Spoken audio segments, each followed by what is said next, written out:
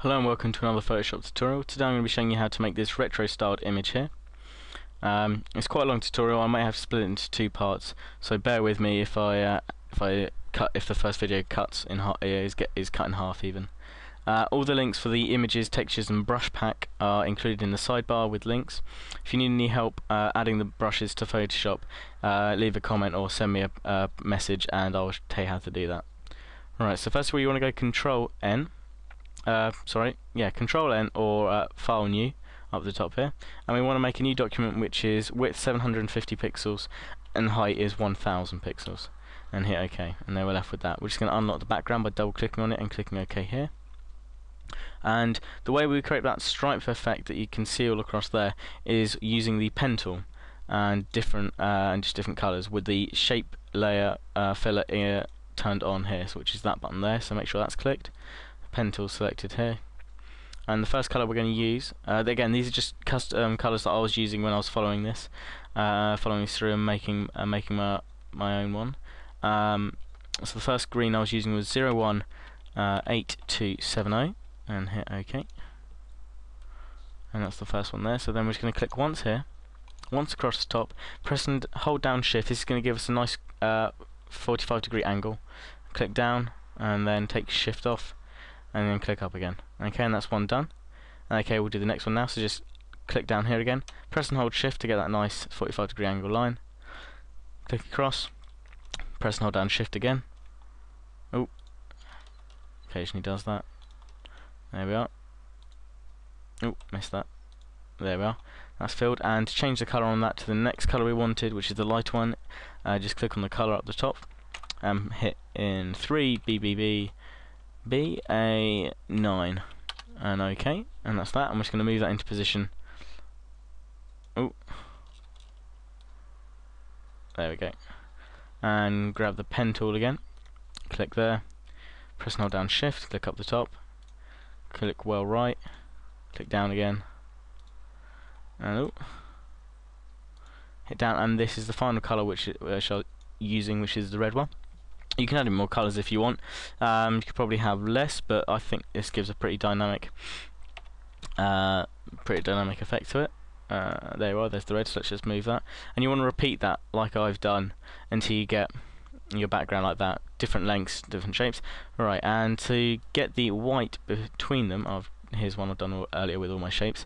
Um, we're actually going to add a uh, layer effect, uh, the stroke effect. So if you right click on shape 1 and go blending options or double click on it, it'll open up the blending options uh, uh, blending options menu. And we'll click on stroke down the bottom here. Uh, size needs to be 3 pixels, the position is inside and the blend mode is normal, opacity is 100%, fill type is color and color set to white and hit OK. And there you are, there's the white line across there. Right, instead of having to run through that and do it on every single one, we're just going to right click on shape 1 and we're going to copy the layer style. And we're going to click on shape 2, press and hold down on the left shift button and then left click once again on shape 7.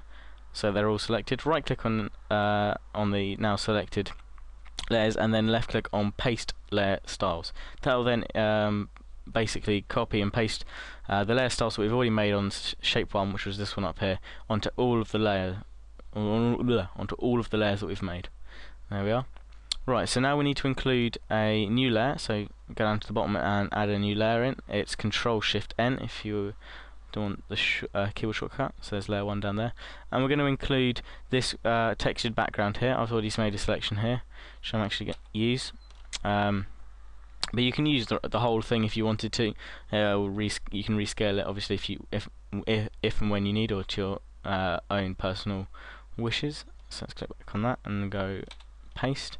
And you won't be able to see anything at the moment because it's down here hidden underneath all these layers. So what we need to do is we need to go up through each layer and change the blend mode to uh, multiply. There we go. And we'll do that for each one. Multiply.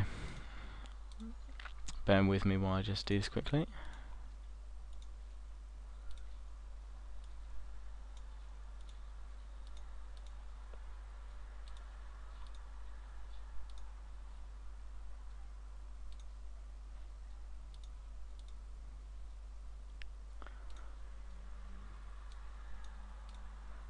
Oh, I've missed one out. Oh. We'll just go back and fix that one, which is that. There we go, okay, and the next thing we want to add in is our text layer. And for this, uh, for this particular effect, I've been using uh, uh, 9.3, which is up there, it's including the normal um, Photoshop set, regular, and it's 200 pin point, and it's set to crisp. Doesn't really matter too much about that. You can set it to smooth if you want. Uh, color needs to be set to white. So I draw a nice big tattoo. Mouse is playing up. Cancel that. Draw a nice big text box, even. I have to move that one a bit. There we go. And type in whatever you want to. I'm typing in. Ooh. I'm typing in retro. Can delete that. There we go. And hit OK. Move that into the middle again. Okay, now what we need to do is we need to extend the R and the T to get these shapes in here before we apply the custom brush shapes. There we are. Um, so what we're going to do is we're just going to get the magic wand tool and we're going to select the R and I'm going to get my selection tool up here. I'm going to zoom in a bit for this. I'm going to move my ooh, I'm going to move my selection tool over the bottom part of it. Control C and then Control V to paste. There we are. I'm going to zoom out again and hit Control T and then we're just literally going to extend that white all the way down to yeah to about there. Um, there we go. I'm then going to get the magic wand tool out again. Select that we've made. Uh, Control C and paste that back in and add it onto the bottom of the T. Saves me a bit of time there. There we go. I'm going to hit Control T on that again. I'm just going to make the T slightly longer. Ooh. There we go. And then this is where your custom brushes come in. So press B on your keyboard or click the brushes tool. Click on the brushes tab here and bring this up. Click on the left arrow, uh, the right arrow here up the top and go down to where it says Retro by Dan Hindi and click OK. It will load up the brushes for this. Right, and the first one we're going to use is this one on the top left. And we're going to use a brush size of about 1.5. 155, there we are. I'm just going to line that up with the bottom of the page. Didn't do that too well, let's try again.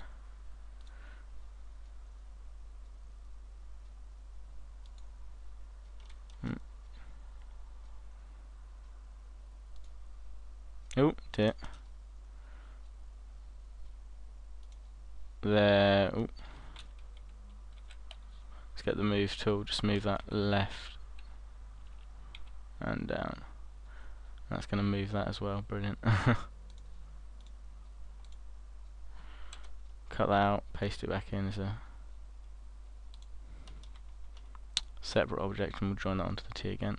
There we go and the next brush we want to use uh, with brushes is uh, this one over here and we want to put that down to about one one seven oh no what about that 180 I reckon and just going to move down here and place that there there we are I'll do uh, we're also going to need to um, join the E and T and the R together just for an effect that I've uh, been working on the top with the top brush. So let's select this. Hmm.